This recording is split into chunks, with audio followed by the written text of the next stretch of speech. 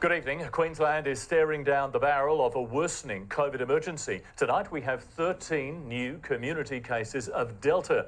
Our strictest lockdown yet is being extended, buying time to test, trace and isolate tens of thousands of Queenslanders across an exploding list of hotspots. So the coronavirus is back. We're in another lockdown through to Sunday. Unfortunately, it hasn't really affected the reselling business or the YouTube channel, which is pleasing. But uh, if you are new to the channel, I sell mainly on eBay. I'm a full-time reseller and I also post three videos on this YouTube channel every single week. So I am certainly really busy, but it is actually one year now that I've been a full-time reseller and YouTuber. I quit my job 12 months ago to pursue something that I always wanted to do, and that is just give something a go for myself and, and run this YouTube channel as well and to see what I can make of it.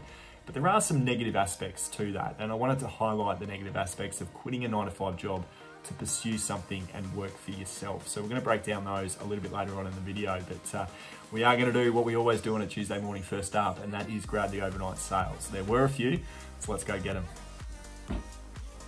Now, you might have remembered in my trip to the thrift video, I bought two board games last Thursday. The first one was Santorini. This was behind the counter. I've paid just $6 for this. It's gone on sale for $65 in the space of about three days. So a really quick mover. Uh, very happy to get the result there off a $6 purchase. Brand new and sealed, which is always what I like to do with my board games. And then the other one as well was the logo board game. I've sold this one about four or five times now. Whenever I find it, it's a guaranteed money maker. Sells incredibly fast.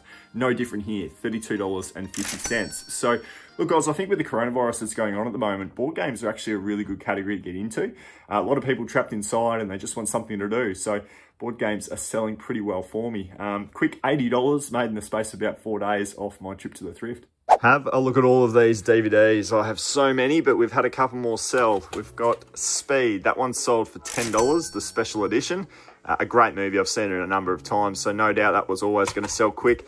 And then the other one I found was Good Night and Good Luck. This had Robert Downey Jr. in it, George Clooney. Hadn't heard of it, hadn't seen it, but uh, again, another $10 sale on this one. So the DVDs are constantly moving for me. Um, I'm always listing them up for a minimum of $10 or more.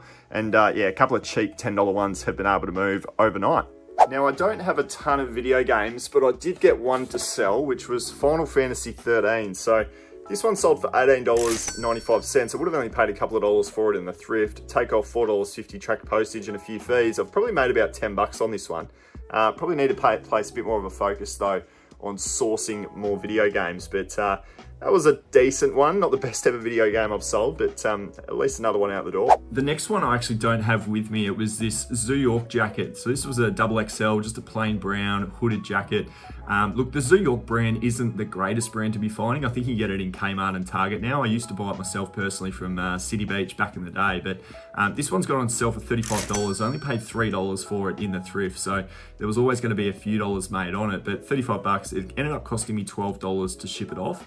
Um, the bloke was a FIFO worker that bought it and he sent me a note in his uh, purchase saying that if I could get it out to him ASAP, uh, that'd be very much appreciated because he wanted to get it for his next swing. So hopefully by getting it out to him within two hours of him purchasing it yesterday, uh, he'll be able to get that before his next roster and uh, wear it while he's out on the job. And then the last sale that we had yesterday was, you guessed it, a pair of shoes. Uh, now these were the Adidas NMDs, which I've sold a number of before. They're these ones down here.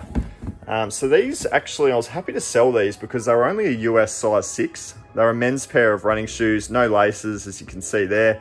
The condition of them are pretty good. They ended up selling for $45. So took a best offer on these. Would normally have tried to get about 50, so I was happy to take 45.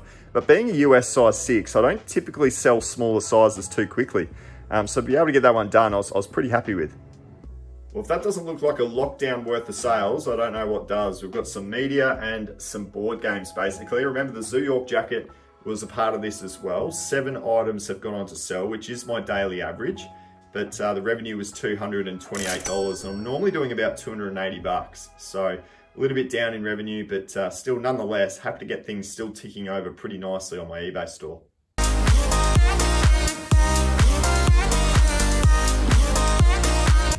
This video is talking about the five worst things of working for yourself. But what I will say is that I absolutely love working for myself. And over the last year, being able to become a full-time reseller, a full-time YouTuber, it has been a lot of fun. But like any job that you have out there, there's gonna be certain things that you enjoy about your job and then others that you don't.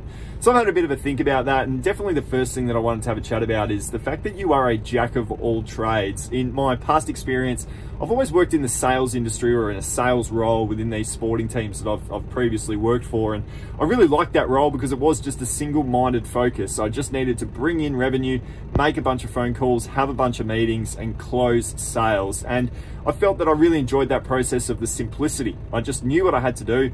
The numbers were there. I knew whether I was doing well or I wasn't doing well. And that was it. There was no real stress or pressure as long as I was hitting my numbers.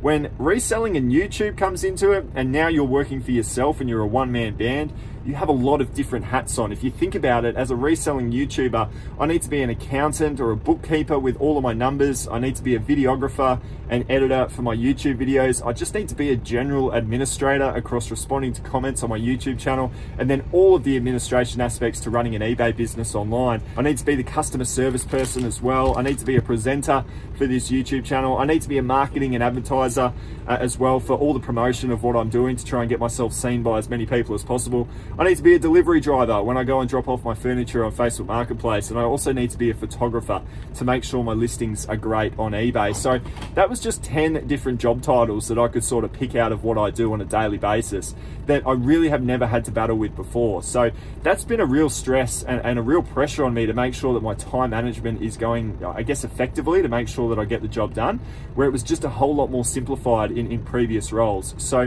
when you're first starting out and you're first working for yourself, you have to be a jack of all trades. It doesn't matter whether you like the job or not.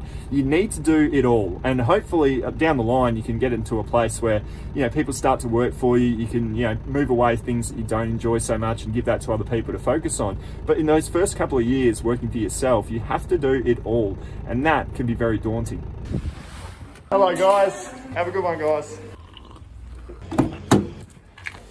The next one kind of, uh, I guess, carries on from the first topic of being a jack of all trades. It's, it's the feeling that you never have time off or you never can have time off. Even if I give myself a day off, I'm always thinking about what I need to do next. I'm always feeling a little bit guilty for taking time off and that gets really draining as well. Just the, the, the mental aspect of thinking you need to do more.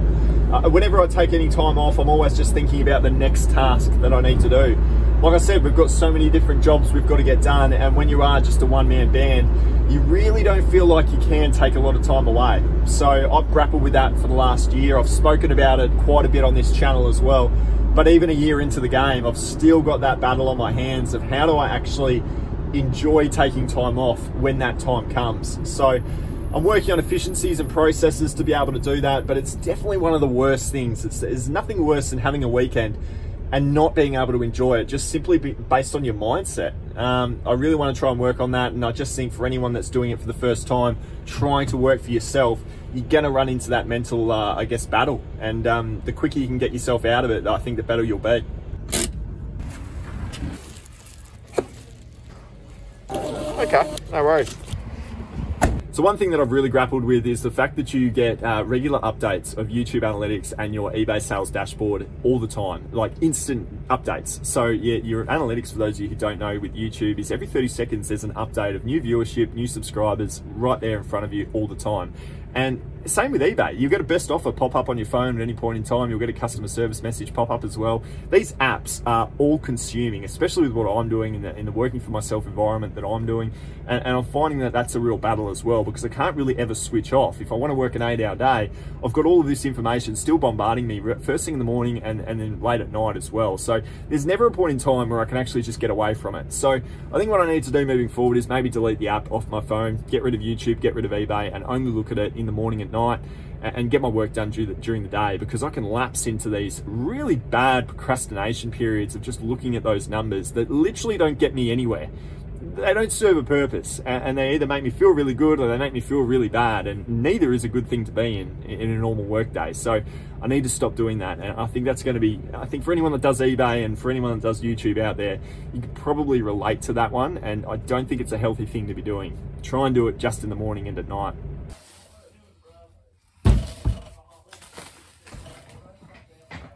I should just quickly say too, this is how I do my board games and uh, anything that's a bit of a strange object. Rather than putting it in a box, I just go and put some butcher's paper and cover it up. So I'll cover this up in butcher's paper, this board game, and then I'll wrap it up in bubble wrap. And uh, that generally gets there without any damage on it whatsoever. And I just whack a label on top of that uh, and send it off that way. So no one knows what it is and it's packaged up and secured safely. So one of the biggest things that I really do miss from my nine to five was the awesome people that I got to work with. It was a huge plus to know that I was going into a workplace where I had a bunch of mates and um, you really do get close to those guys and uh, it does make work a whole lot more fun. And uh, for the last year, I've just simply not experienced that.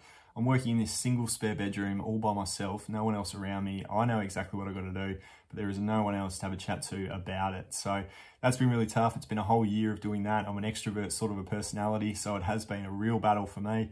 If you're an introvert yourself, you might be able to get through it a little bit easier, but um, certainly it's something that sat with me for quite a while. I know that down the line though, things will change. I'll be able to hire a few people. I'm thinking of getting a video editor for some YouTube videos that I've got coming up. And uh, I also want to get somebody in to do the admin side of things like posting and, and listing my items. So even just a couple of people around the place uh, every now and again would certainly help the process. But uh, it's just something for the, for the last year I've dealt with. I know that'll probably be another few months uh, like this as well. But um, hopefully just a short-term pain for a long-term gain um, with what I've got you know, planned in place for the future. So um, if you if you're just starting out, just expect that it's going to be quite some time where you're going to lose that support network of your normal nine to five workplace. And is that actually even something that you want to put up with? Because I certainly do miss those guys.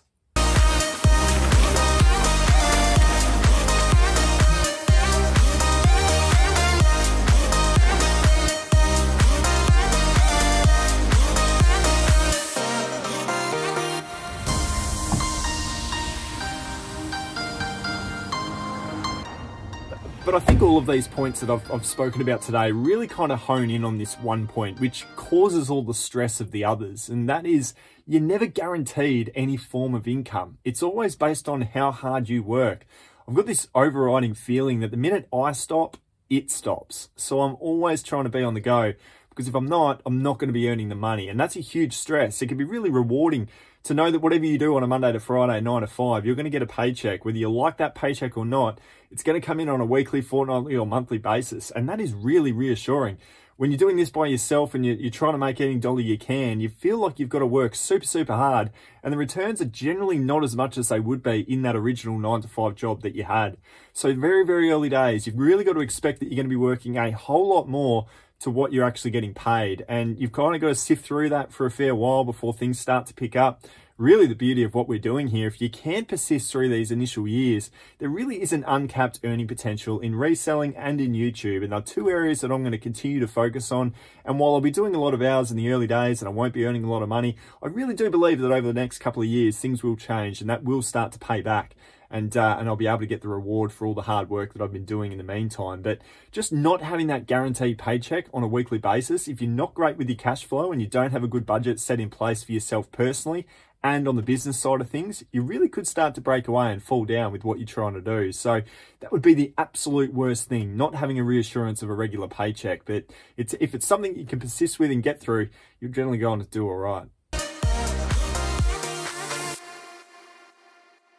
Thank you very much. No problem, man. Have a great day. Appreciate it.